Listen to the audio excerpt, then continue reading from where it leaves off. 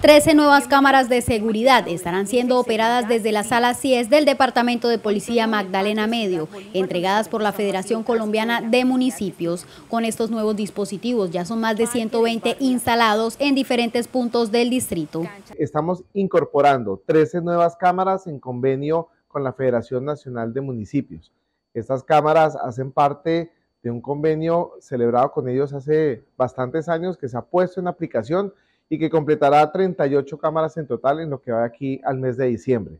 Es muy importante que se han instalado en lugares estratégicos para enfrentar la criminalidad, el microtráfico, pero también para proteger a las familias en muchos parques de la ciudad y en especial alrededor también de colegios en Barranca Bermeja.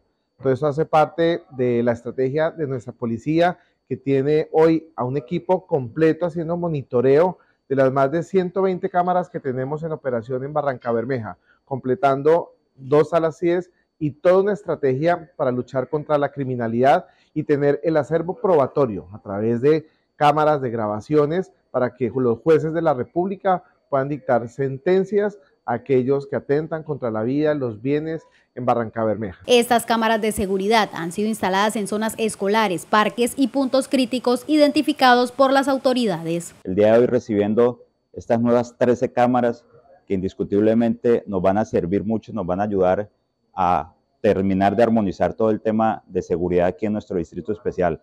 Con estas, son, con estas 13 ya son más de 120 cámaras, señor alcalde, que están al servicio de la ciudadanía, que como lo hemos dicho también son 123 uniformados más o policías que están en la calle realizando actividades de vigilancia y control. Estas 13 nuevas cámaras hacen parte de un convenio que establece la entrega de 38 de estos dispositivos antes de finalizar el presente año. Adicionales a estas, para completar 38, son cámaras eh, con una tecnología de punta de 4 megapíxeles, 32 X de zoom. Con estos nuevos dispositivos se busca aportar a la lucha contra la criminalidad en Barranca Bermeja.